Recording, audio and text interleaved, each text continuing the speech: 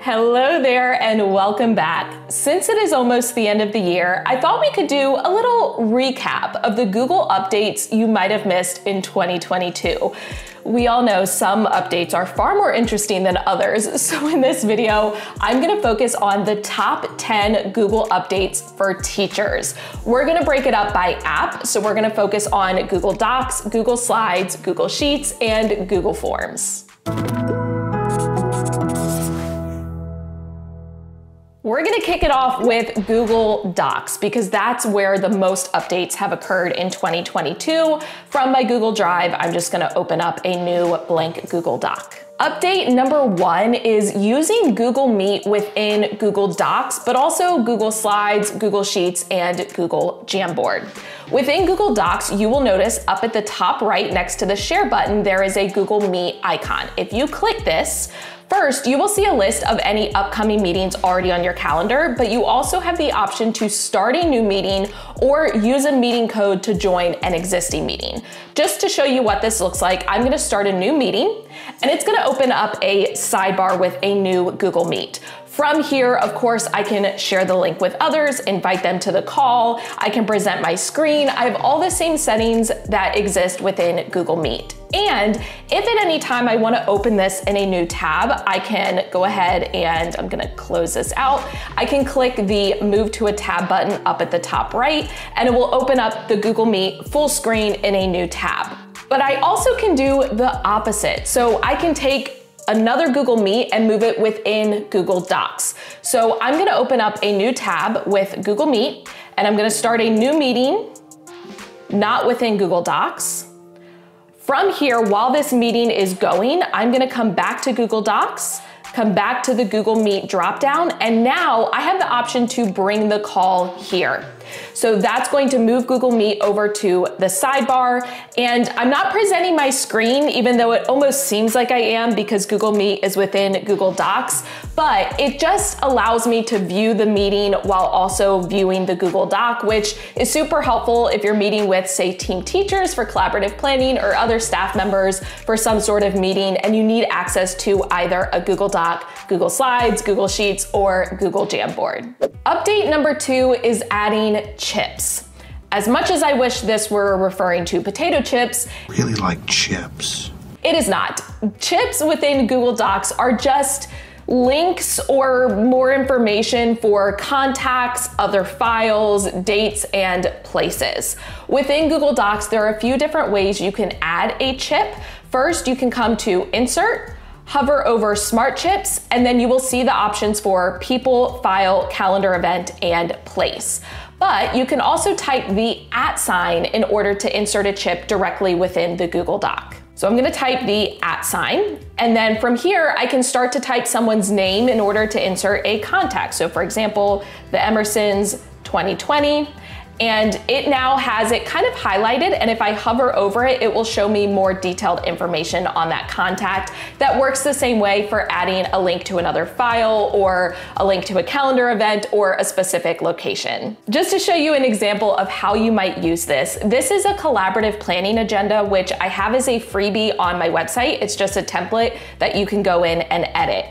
But for example, if we have this upcoming field trip to the Natural History Museum, I might add in a chip for contact information for the museum or maybe the location of the museum or the calendar event.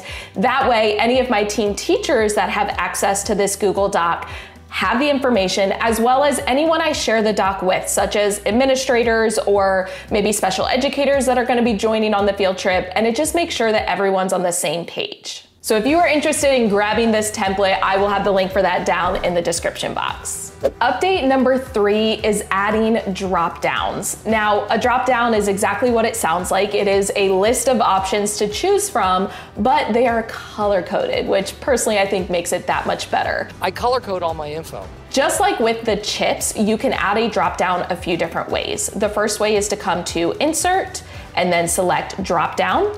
From here, you can either choose a pre-made dropdown such as project status or review status, but you can also create a new one.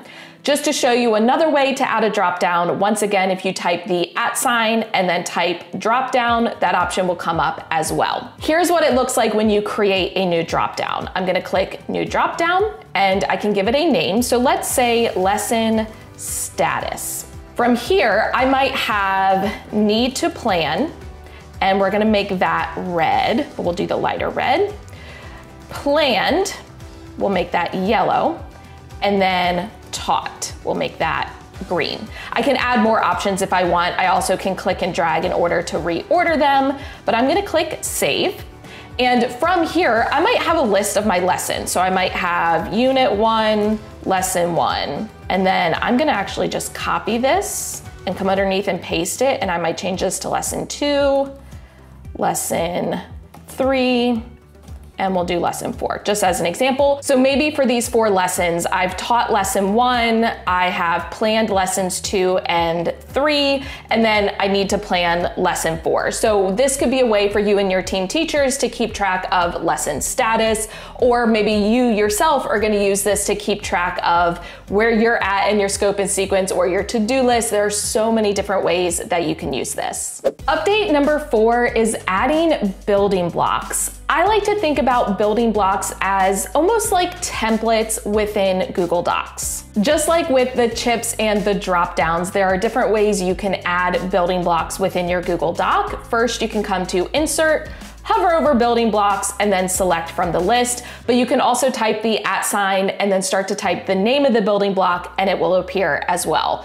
Just to show you how you might use some of these. First, meeting notes. It will allow you to select a meeting from your Google Calendar. So for example, collaborative planning meeting. I can select that. It's gonna put all the chips in there for the date and the name of the meeting, but it also gives me a spot to type in attendees, notes, and then any action items. So it just makes it that much easier to take notes during a meeting. I just had a couple of notes. Let me grab a pen and Another option is an email draft. So I'm gonna come back to insert, building blocks, and select email draft.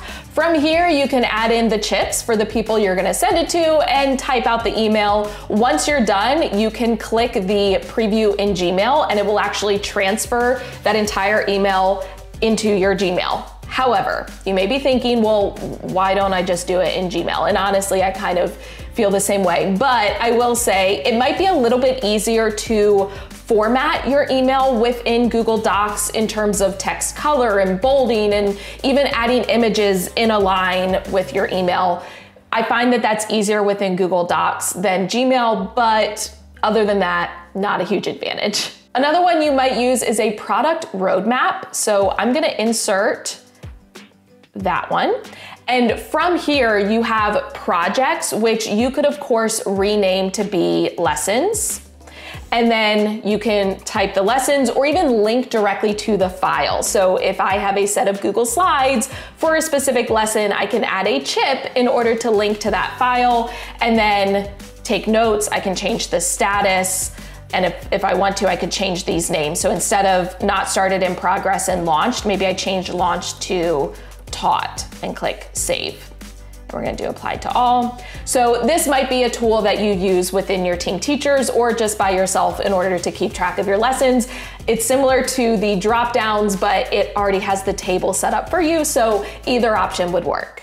Update number five is adding emojis, which isn't a huge deal. It's nothing groundbreaking, but it does make it a little bit easier. I used to use a Chrome extension to find emojis and then copy and paste them within Google Docs. So this is a little bit easier, but you know, it is what it is. In order to insert an emoji, I'm gonna come to insert, select emoji, but once again, I can also type the at sign, start to type emoji, and it will appear as well. What I do really like is that you can search. So for example, French fries, and then you can insert the emoji. It's easier than trying to scroll through and find the one, but this is obviously helpful for you. If you're doing things with students, you might wanna add emojis in, or if you're drafting those emails, you might wanna add those emojis in there as well. Also, this one kind of goes with the emojis, although it's a little bit different. If you are grading student assignments within Google Docs, obviously you can add comments, but you can also add emoji reactions. So if you highlight text within the Google Doc and then hover over the smiley face, it will allow you to add an emoji reaction.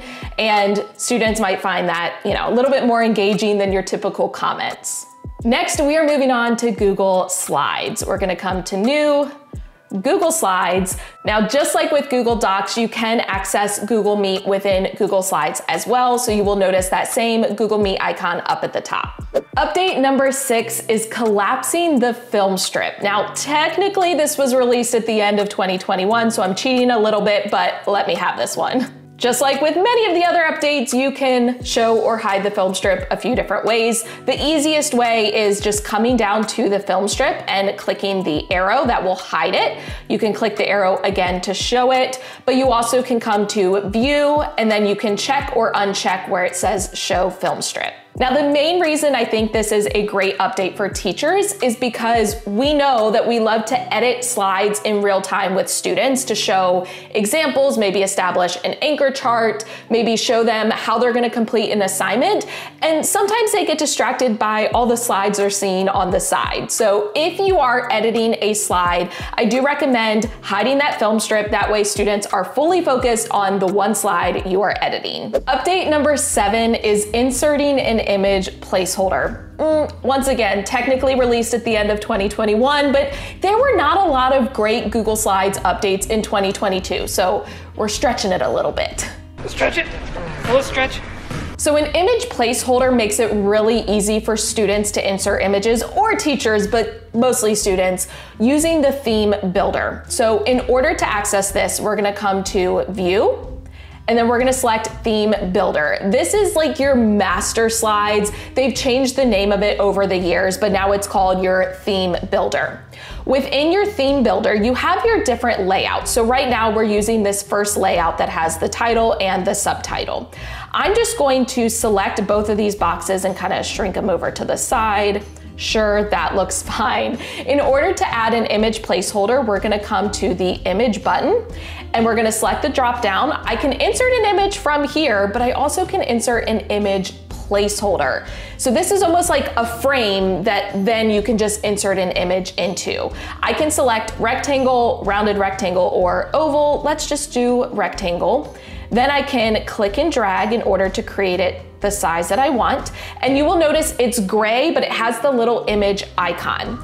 From here, if I close out of the theme builder and I come back to my slide, which I'm using that layout from the theme builder, now, if I or my students want to insert an image, all I have to do is click the image button and then I can choose to upload from my computer, search the web, and so on. So let's search the web.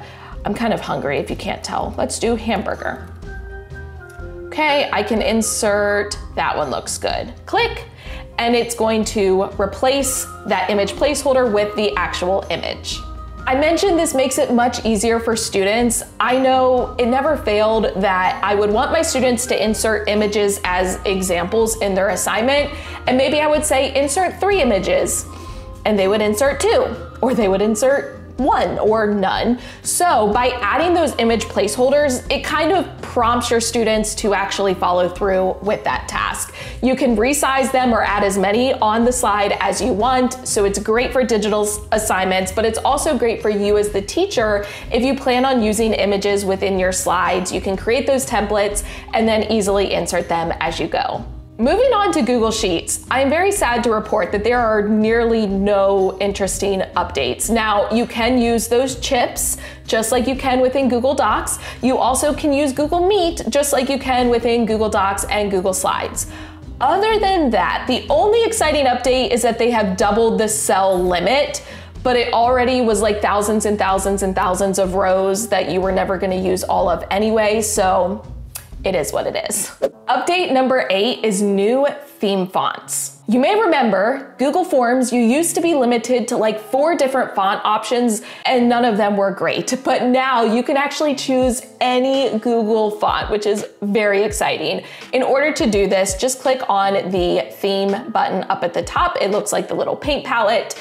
From here, not only can you change the overall font for the form, but you can also customize it for the header, questions, and the text. So you have a little bit more customization here.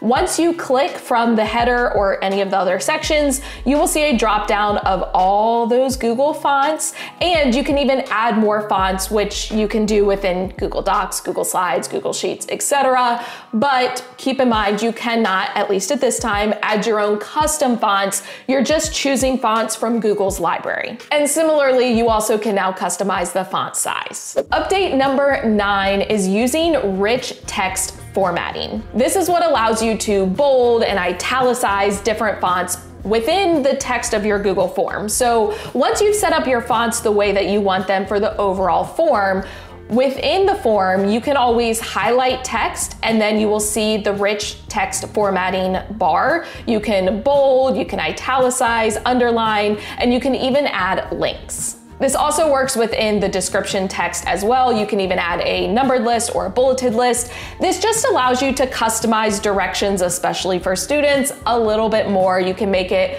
a little bit more clear for them by bolding certain things. Maybe you're gonna link to other assignments or other files that you want them to view, but it just gives you a little bit more control. And finally, update number 10 is using locked mode on Chromebooks. Locked mode essentially prevents students from opening up other tabs while completing a Google form. So if it's going to be a graded assignment, you can set it up where you get notified if students try to open up another tab. But this update can only be used if you have a Google Workspace for Education account, which good news, if you have a Google account through your school or district, it most likely is a Google Workspace for Education account. But you also need a Chromebook managed by your school for each student, which I obviously do not have. So I can't show you exactly how to do this, but I will link down below a set of directions that will show you exactly how to do it. But that is it. Those are the top 10 Google updates you might have missed in 2022 and the end of 2021 because we cheated a little bit. If you enjoyed this video and you want more videos like this, please leave a comment down below, first of all, but also give it a thumbs up, hit the subscribe button and notification bell so you don't miss any future videos. I will have the links down in the description box for that free collaborative planning template as well as how to use locked mode on Chromebooks. As always, thank you for watching. I love you so much. Don't forget to put your positive pants on and I will catch you in the next one.